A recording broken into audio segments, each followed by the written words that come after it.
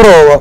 Mm, siamo qui assieme a Giovanni, una mente dei CCCP, CCCCP fedeli alla linea.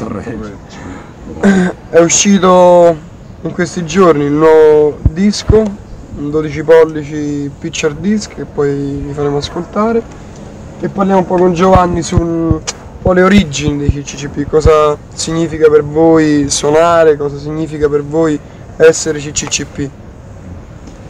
Allora, all'inizio della la storia è cominciata a Berlino, davvero, non come favola come a posteriori. È cominciata a Berlino dove Massimo, il chitarrista di CCP, faceva il pizzaiolo per sopravvivere e abitava in una casa occupata.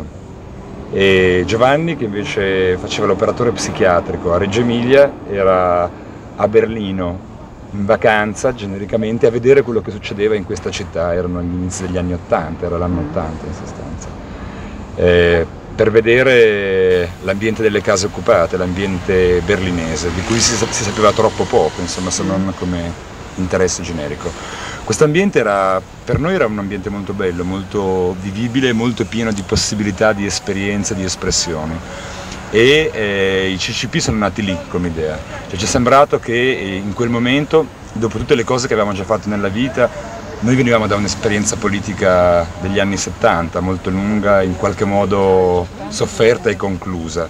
E lì ci, ci sembrava eh, che l'ambiente di Berlino ci desse la possibilità di ripensare anche nostra, la nostra esperienza politica passata. Scusa, stavamo dicendo? Stavamo parlando di Berlino. Sì. Berlino in quel tempo la, il, il, mezzo di comunicazione più usato, più, più, sì, più usato era la musica, era quella il punk tedesco in sostanza, in Italia è quasi sempre arrivato il punk inglese, in tutto il mondo la storia del punk l'hanno fatta gli inglesi, in Germania la cosa era leggermente diversa, eh, erano diverse le, le, basi ideologiche ma era diverso, molto diverso anche il vissuto, insomma tra le case occupate inglesi e le case occupate tedesche, di Berlino soprattutto c'è sempre stato un abisso in sostanza, anche mm. se tutte e due erano case occupate.